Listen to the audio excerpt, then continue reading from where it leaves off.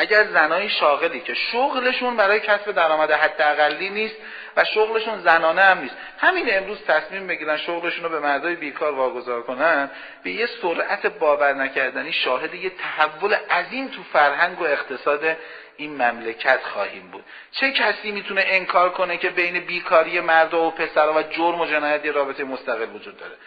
چه کسی می‌تونه انکار کنه که وقتی مردی بیکار میشه تنهایی خودش نیستش که دچار آسیب میشه. خانوادی او هم تحت, نه، تحت این خطر قرار می‌گیرن. آیا میشه انکار کرد که بین اشتغال مردا و بالا رفتن سن ازدواج یه رابطه کاملا مستقیم وجود داره؟ یعنی هر چقدر زمینه اشتغال کمتر زمینه ازدواج هم کمتر. و آیا شما می‌تونید انکار کنید که وقتی سن ازدواج بالا میره آسیب پذیری اخلاقی جامعه هم بالا میره؟ بله. چرا صریح نگم.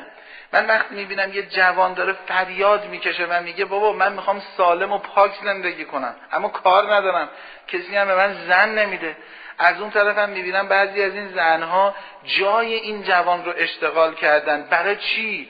برای رفاه بیشتر نه برای رعایت حداقل زندگی برای چی؟ برای خیلی از چیزایی غیر ضروری نه برای بله. پاسخ دادن به نیازی که زن باید به اون نیاز پاسخ بده خب آدم عقدش میگه این جوون چه گناهی کرده که بنده خدا باید توی آتیش این غریزه بسوزه کار نداره کسی هم بهش زن نمیده به این راحتی و داره فریاد می‌کشه که یکی به دادش برسه.